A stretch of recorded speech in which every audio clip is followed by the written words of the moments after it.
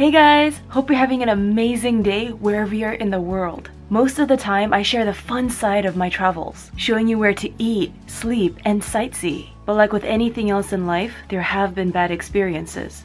About two years ago, when I was traveling through Asia, I got dengue fever. I mistaken it as food poisoning. Keep in mind that you could get dengue fever in other continents as well. As many as 400 million people are infected yearly from dengue fever. Some cases are fatal, so mosquito-borne illnesses are not to be taken lightly. The next part of this video I filmed and edited in early 2017, but I didn't release it until now because I was not fully healed. I have re-edited the original video and added more insight. I hope you find this video to be informative and promote preventative action so that you may have fun and healthy travels. The last thing you want on your trip is to be sick in bed, so close to all this amazing food and these amazing beaches, and so far away from home. Hey guys, I'm in Taiwan currently and it's my eighth day being sick with dengue fever. I got dengue fever in Cambodia and I got bitten there a lot. Another place I got bitten often is in Bali. I get bitten almost every day, but I just didn't expect to get dengue fever. On the day I went to see the sunrise at Angkor Wat, I got really sick all of a sudden. And I was thinking it was food poisoning because after I had some cocoa shakes, I started to feel nauseous and then my head started to hurt throughout the day and then um, when I walk around uh, I would black out suddenly. So I bought a three-day pass to Angkor Wat. I only got to see half a day and then I just knocked out in the tour van. Uh, I had fevers. I felt very nauseous. Uh, and then if I move my eye like this it would feel very sore. And then I, I was very tired. After I got back home from Angkor Wat, I slept from 4 p.m. for 40 hours course I had little breaks in between where I would go to the restroom. I post a little bit on Snapchat because I, you know, I always like to post something on social media. But there came a point where I just, even looking at the phone and just thinking about food, it just made me really nauseous and I just couldn't do it anymore. So I didn't eat much the first uh, day and then the second day I tried to eat a little bit more. I needed energy. So I, I couldn't tell if I was nauseous because I was sick or because I was hungry. Um, it was probably a combo of the two. It was very um, mentally draining because on the second day when I had major fever and I was just knocked out, I had dreams. And actually I remember waking up at random times and then I remember bits and parts of my dreams. One of the nightmares was uh, street vendors chasing me and asking me to buy something. I also had unfavorable memories from the past resurrect and they were haunting me and some really unnecessary emotions resurfacing. It was really tough because it's like, oh, all those things I thought I overcame, that I thought I worked through, that they're no longer a problem, like closed book on a chapter, like a page turned on the previous chapter. You know, I thought I flipped that and then I'm done with it and then, you know, I'm at peace with it, but no, like all those things sprouted back up and all the pages, you know, like rewinded and oh, popping into my face, all those memories. And I was like, what's going on here? And I, I was so weak that I couldn't even fight it. I couldn't even work them back and be like, okay, calm down. It's okay. Like, be forgiving, be compassionate. I, I didn't even have the energy to do that. I had no energy to be positive. So like, I was really like angry and then sad and then miserable and all these like emotions, wide range of emotions. So it was I was in bed the whole time, but man, it was like a roller coaster, emotional roller coaster.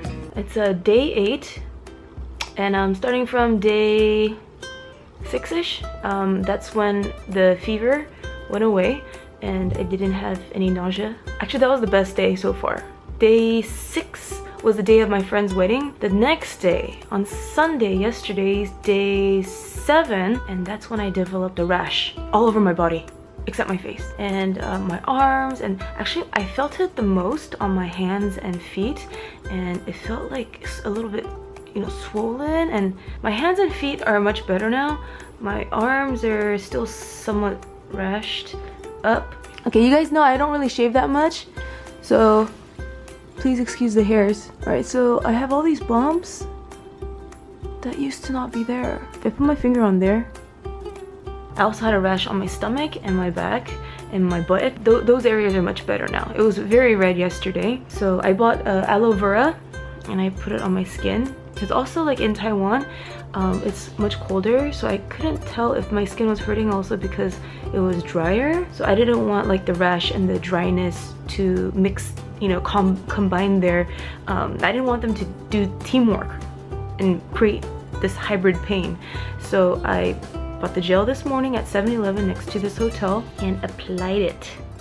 Yeah let's see what else.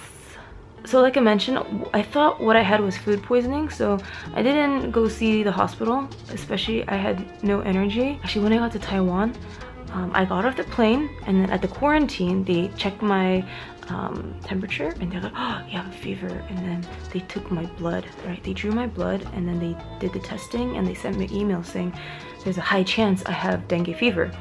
And then when I got to my, oh, and then they took all my contact information, like where I'm staying in Taiwan and every single place. And then uh, I got to my hotel and I settled in and I just knocked out. I was really tired because I came, I flew in at around like 11 p.m. ish. And then the next day, the next morning, I wake up and the hotel calls me and they're like, oh, you have dengue fever. And then the uh, nurse will come and see you to talk more with you. And I was like, at that point, I was getting ready for my friend's wedding. And I was like, I'm gonna be late. I came to Taiwan to for my friend's wedding and I'm gonna be late. I'm gonna miss their ceremony. But I'm like, okay, well, guess health, health is number one uh, because I don't want to faint. I don't want anything bad to happen on the way to the wedding. So I might end up missing the whole thing anyhow then. So I waited. I waited at the hotel, talked to the, uh, the nurse, and then um, yeah, everything went well. And then uh, I went to the wedding. And then the rest of the day was fine. And then the next day, um, when I developed the rash, I went to the doctor, uh, another doctor. Because when I flew into Taiwan the first night, there was a hospital at the airport. It was really cool because someone's sleeping there 24-7. Someone's always there. And um, when they opened the gates, because everything was closed, it felt like a zombie movie. You know, they opened it up like from the top to bottom, like to the middle, and then they opened the glass, you know. So the next day, when I went to the hospital, I went to like a more typical hospital. They drew my blood again, and then they put me in this um, mosquito net bed. Felt like a, a, kind of like a zombie princess. In terms of food, uh, you know, like I unless I'm vlogging, I don't like to eat much white rice, uh, noodles, you know, like too much sugar. That includes fruit as well. Part of the BRAT diet, you know, when you're sick, they say to eat bread, rice, applesauce, banana. That's sugar. Those are all things that make me feel really sleepy and tired, you know? So, but actually, uh, porridge, rice porridge is the only thing that made me not get nauseous. So I've been eating a lot of that. But now I widen my um, diet again. So I'm, you know, including some uh, scrambled eggs, well scrambled eggs. Add a little bit of seaweed as well, some kimchi, um, brown rice. Without health, you have nothing. Usually I have a lot more energy and when I have a little bit of free time even, I'm trying to edit videos and trying to be productive and even, you know, like doing social media, posting something on Instagram like twice a day. But these days, um, yeah, I get tired easily and you know, especially having an itchy body, it's like hard to think about anything else. You know, I watched uh, two movies last night and that helped me take off mind from the pain. The premiere on HBO of um, Bright Lights featuring Carrie Fisher and her mom and her family. Um, and then afterwards, Hancock came out, Will Smith, seeing him being powerful flying around made me feel better too. It gave me some power. Yeah, because if I do anything else, my mind keeps going back to this itchy feeling on the skin. And, oh, it, man, oh, it's 11.10. I gotta pack and then check out by 12 or else I have to pay a fee. I had to mention something to you guys. So first off, I have a really hard time sleeping when my body's all itchy like this. So I woke up many times last night and the night before. Thing is, even if I'm not fully asleep, I'm like half asleep, I'm like in a different situation all the time. So what I mean is, like last night, um, there was a point where someone was like, give me your hand and there's like people walking around the room, da da da da da da. I open my eyes and I'm like, what am I doing? Why am I responding to these voices or like whatever in my head and doing what they want me to do? They're not even here. It's not like a scary experience. It's not like ghosty or anything like that. I know it's like in my mind and it's maybe it's like a hallucination or so. I don't know. I don't even know what you call it. I looked online and there's a source that says uh, when you go through dengue fever, uh, you can have an altered, um, what is it, altered consciousness? So maybe that's what I was experiencing. Okay, that's all I remember for now. Uh, gotta pack. After I came back home to the US, my skin shed for weeks. Whole time I'm like, when is this gonna end? I also felt frequent indigestion and I couldn't eat the foods I normally would eat, including almonds and assorted nuts. And you know how much I love my almonds! During my recovery phase, I became very introverted. I filmed way less and I read more, uh, also slowed down a lot and didn't feel bad about that. A few months passed and I became more of my normal self.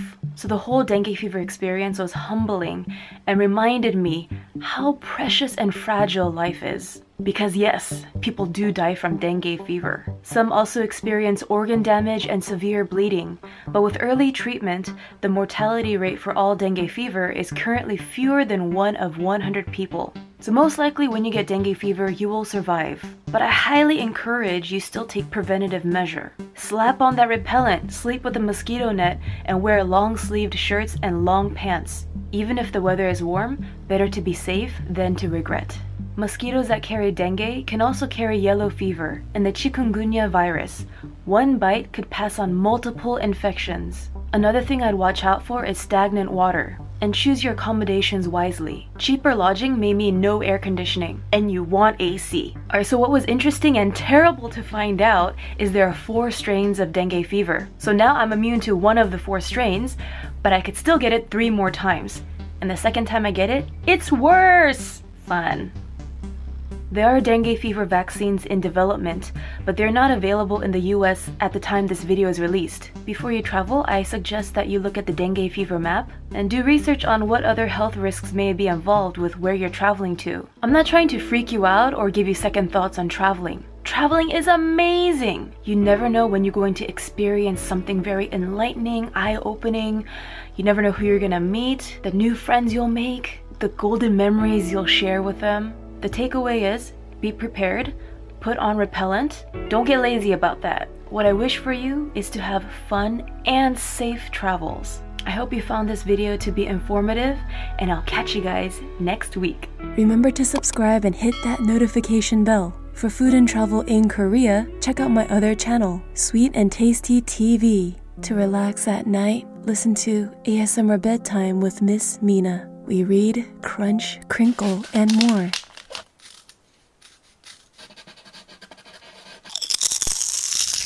In the sunset's gold.